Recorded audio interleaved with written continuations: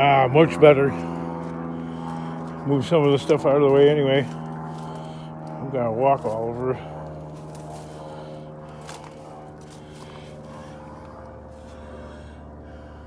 So all three of these I've gotten loose and the one way in the back I'm having a hard time just reaching to it and I haven't even pulled the boot off. A spark plug boot. Oot in the boot.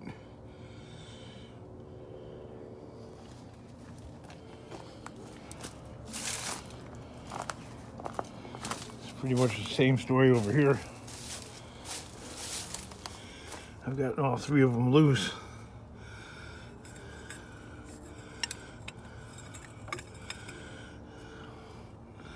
Except for that one way in the back.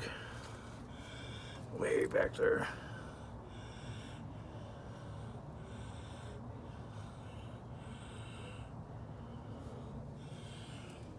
There's like minimal room back there.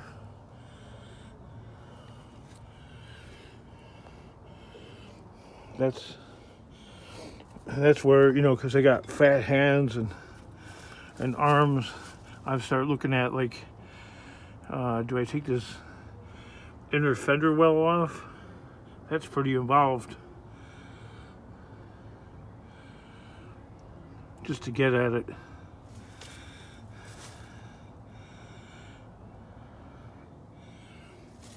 I guess I could take a hole saw and start cutting holes in it. Try and figure out where that would line up. Always trying to be careful that I don't cut into a electrical line or whatever. on this vehicle, the mouses did not nibble on any of the wiring, but on that Chrysler, they just went to town on that car. it, it is definitely going to need an entire wire loom if it's ever to run again.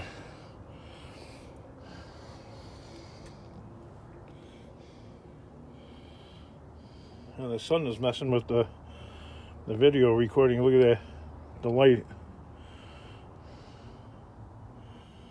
That's wild. Guess it's affecting the the shutter or whatever. I know. But uh, why do people watch YouTube videos anyway? Right? Either to be educated and informed or be entertained. Well, this one's primarily entertainment.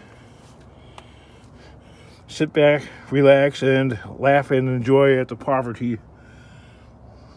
As that other channel, Bert from Scrap Farm, claims that I'm a poser.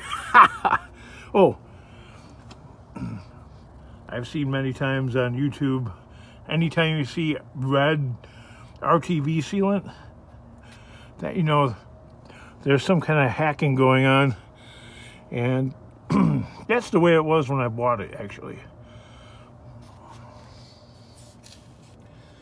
That's the first thing I looked at. This is a Ford 460 engine,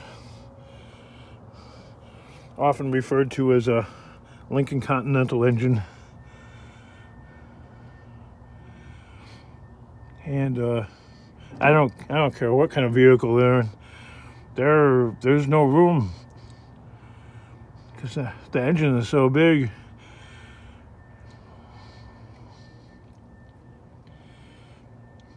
It's almost the size of uh, the old Cadillac engine. The old Cadillac Eldorado had a 501 cubic inch. So this is like what, 41 cubic inches smaller? It's a gas engine. I, I don't have any diesels. I don't have any experience working on diesels. King, it doesn't look like you have experience working on gas engines. yeah, very little. I am not a performance mechanic. So I'm going to have to find some hired help to get back there because I want to take the spark plugs off, according to Scotty Kilmer videos, for motors that haven't been started in a while.